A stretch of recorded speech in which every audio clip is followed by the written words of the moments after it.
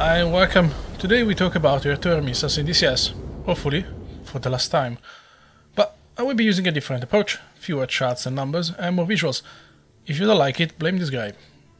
I have created a couple of scenarios where the AI shoots at pretty much the same time a number of different missiles. These include A120C5, Phoenix, SD-10, R27ER, and others. The idea is showing how they behave, which one performs better, and other peculiarities. Both scenarios are set at 40,000 feet, VC is about Mach 2, 0 TA, 0 ATA, and the targets are a bunch of B1s flying at Mach 0.9.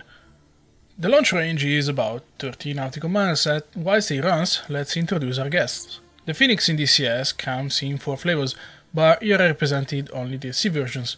Next, the R-27ER. The Soviet-era missile is possibly the fastest missile in the game, and as shown in a recent video, with a bit of loft, it can almost double its performance. The A120C5 is the most recent version of the famous AMRAAM in DCS, the other version is the A120B. Finally, the Chinese Marvel, the SD-10 or PL-12. Various sources claim on the internet, and thus should be taken with a metric ton of salt, that is somewhat in between the A120B and the C, so let's see how it fares here. As we're seeing, the R-27ER has incredible acceleration and it reaches the target first, and it is surprising how little energy it bleeds whilst flying straight.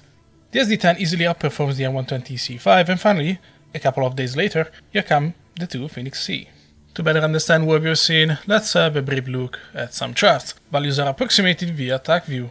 Peak speed, nothing impressive besides the R27ER that is basically hypersonic, given how close it is to Mach 5.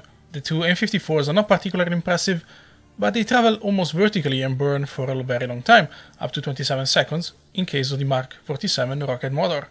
The Apex makes the different strategies adopted by the missiles to reach the targets very clear ludicrous speed and flat for the R27ER, stratosphere for the Phoenix, and something in between for the SD-10 and the AMRAAM.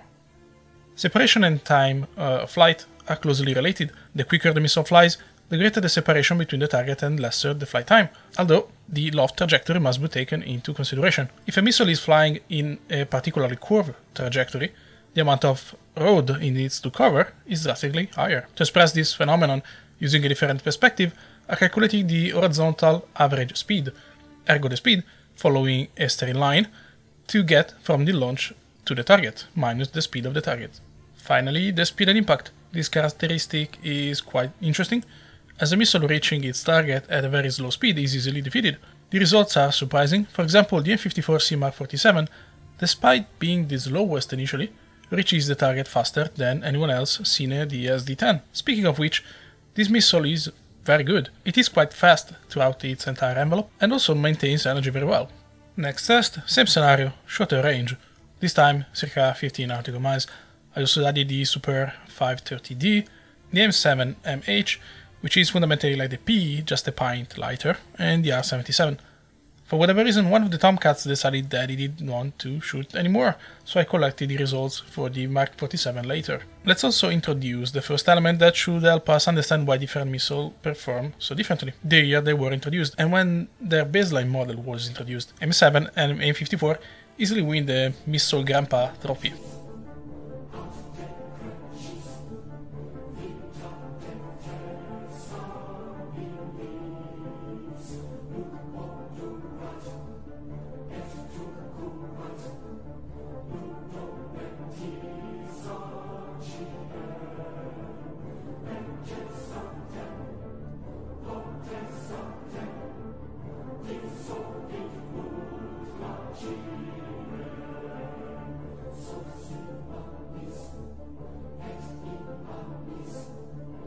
Let's have a look at the results now. The peak speed shows how explosive the R77 and the Super 530D are, otherwise no surprises. The Apex is interesting and shows how the SD10 and the M120 loft, and how the Sparrow tries to sneak into this fancy group as well. The Phoenix does not loft uh, within circa 20 nautical miles as we know. Separation, time of flight, and the horizontal average speed highlight how good the R77 and the Super 530D perform overall. The surprises show up in the speed and impact. Besides the R27ER and the SD10 blowing everyone else away, we see the M54 doing well, the Mark 47 in particular, albeit being one of the slowest.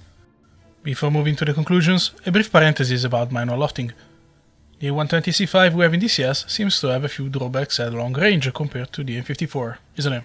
However, in DCS we can manually loft all sorts of missiles and they gain incredible advantages. What are you're looking at is a 50 nautical miles shot, same geometry, of an AE Mark 47 launched by the AI and an A120C5 lofted manually at 30 degrees. The results show how the AMRAAM is arriving earlier, faster, and with greater terminal speed. The M120 arrives faster at 50 nautical miles than 30 nautical miles thanks to the additional manual loft, thus defeating a dedicated long-range missile in its courtyard. Note that lofting the Phoenix helps a little bit to increase its terminal speed, which is fundamental to decrease the chances of seeing the missile kinematically defeat post-APOL. I do not have the JF-17, and I have trialed it already, so I cannot test the SD-10, but I've been told that behaves even better than 110TC5 when manually lofted. The R27ER can be lofted as well, as I discussed in the previous video. The performance gain is out of range, as it almost doubles its speed at impact. I've quickly tried again using this scenario, and then R27ER launched at 38 nautical miles and it impacted at Mach 2.89. This is really crazy stuff. As mentioned, the M7 and the M54 easily win the Missile Grandpa trophy, but there is more to that, and this is one of the problems with the sandbox approach of DCS. Or, better phrased, the game allows complete freedom, and complete freedom is subject to subjectivity. Servers can include all sorts of weapons and modules, even modules post 2000 with their updated and often arguable data link, RWRs, radars, into a 90s brawl. But anyway, back to the era discussion, let's include the M120 to have a wider view, through the history of these missiles, there are defining moments where their performance spiked, so to speak. For example, the passage from the M7E to the M7F and later M saw the range doubling, new and improved seekers being used, and so on.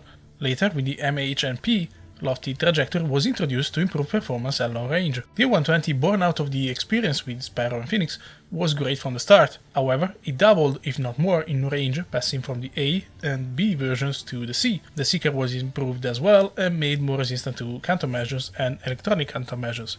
The Phoenix received a major overhaul in 1986 with a brand new Seeker and guidance, which dramatically improved its capability against maneuvering targets.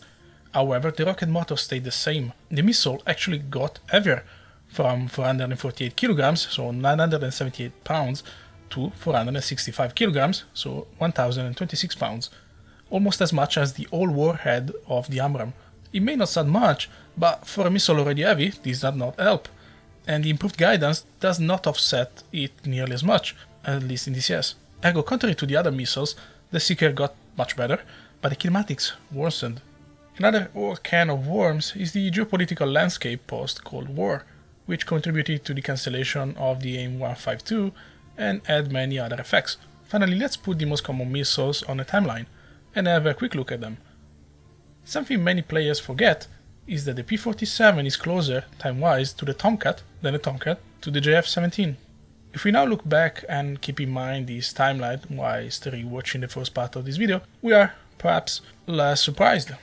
By now, it should be clear the Phoenix is an ancient missile, it fares greatly against missiles of its era, but it's mediocre at best when thrown into the mix with modern ones. The SD-10 is instead a brand new missile for the standards of DCS, and I wonder how a lofted SD-10 fares against an MBDA Meteor. Um, I'm not even joking. The R-27ER, and probably the ET as well, are indeed surprising missiles. I played them a lot in the old Nomak 20 years ago, and they are incredible now. The R27ER is fast and seems almost immune to drag, which is somewhat surprising given that this missile is longer than a Phoenix and almost that thick. The A120C5 AMRAAM looks uh, okay. It's not the most recent missile, and it has been subject to multiple changes in DCS, properties and logic-wise. Let's see if ED has more work in their pipeline for it. Speaking of AMRAAM, I'm wondering why there is no early AMRAAM in game, it would be a nice addition to the early 90s missions. Anyway, I hope you have enjoyed this different approach and found it useful. Thanks for watching and take care.